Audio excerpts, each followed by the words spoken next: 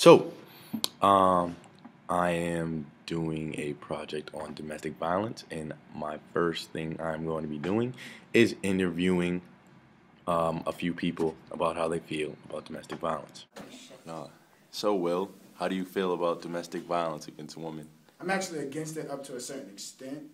It depends what happened for the altercation. I feel like if a female initiated contact first, I feel like a guy has his he has a position to put a female, not necessarily in her place, but he has a chance to retaliate and not physically brutalize and just beat the life out of her, but like defend himself to an certain extent without harming her. All right, Brittany, what is your views on domestic violence against women? Um, I believe no woman should be uh, hit or have their hands put on anybody. I honestly believe nobody should put their hands on anybody. Uh, at that certain extent, men shouldn't be hit by women, women shouldn't be hit by men.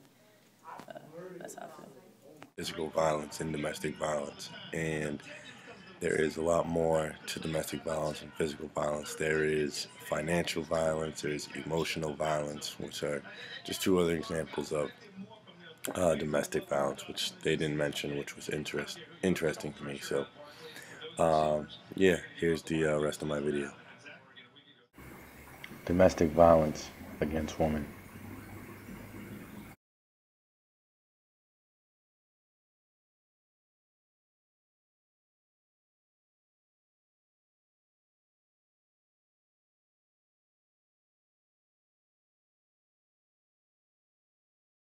Someone you know needs help.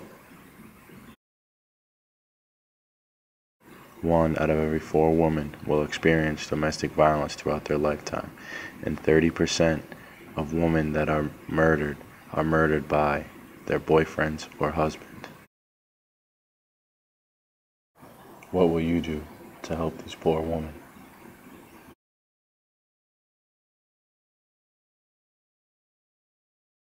The White Ribbon Campaign, or the Vera House, which is a comprehensive domestic and sexual violence service agency providing shelter, advocacy, and counseling for services for men, women, and children.